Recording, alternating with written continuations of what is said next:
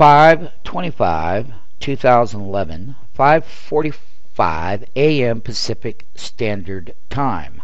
One of the things that we would like to point out as we do every morning is the pre-market futures and where the bull and the bear is and what kind of economic data has come out. Um, one of the things that we're looking at here is the gap up above 1.01.00 ratio. One, two, three, four names. That's it. That's called diminishing gap up in the NASDAQ comp. MMTs, look at the gap down list. Oh, it's about the same, but they're about equal. Whereas earlier in the week, around Monday, you had a long, long, long, long, long list.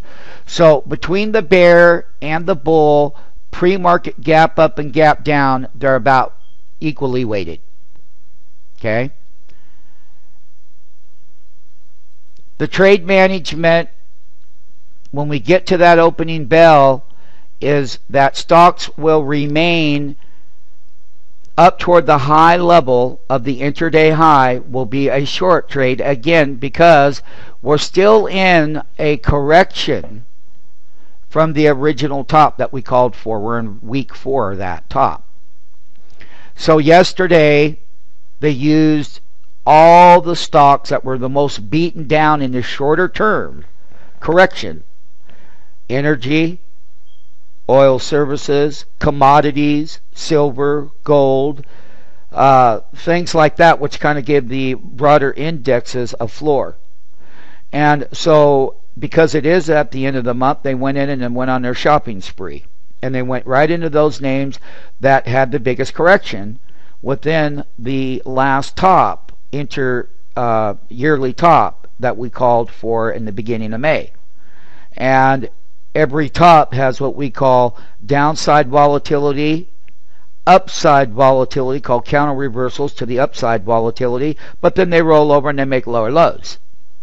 And one of the things that we're very good at is understanding that the counter relief rallies end up making lower lows because we have not resolved a bottom yet from that correction.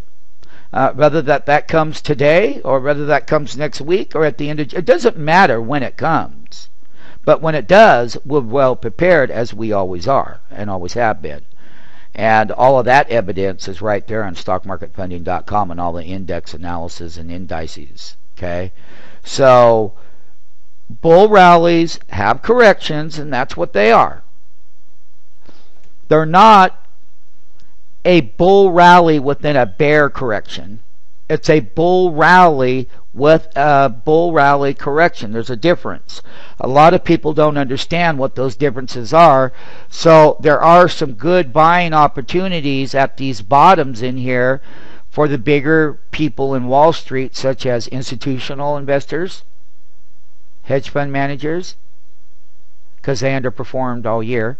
In the first quarter of the year, they did. And then you have your regular people who buy and sell stocks looking for valuation and they always seem to find valuation in every correction. That's where when you're buying the equity off of the support level now, so when you're buying equity off the support level, they bounce off of those support levels because those people are engaging and making purchases. We're going into a major holiday weekend this coming Friday the volatility will remain elevated in the NASDAQ comp. The trade management is buying off the bottom, taking that 36912 up, and then selling it in for profit and getting net short. Nothing could hold that broader bull move yesterday that we started off with in pre market. We started with a bull move, but the bull move gave way and we still close lower within the original trend cycle. Let's have a good day. These are the names that are popping up. I do know that some of them are earnings related. NASDAQ comp, gap open up, gap open down, trade management.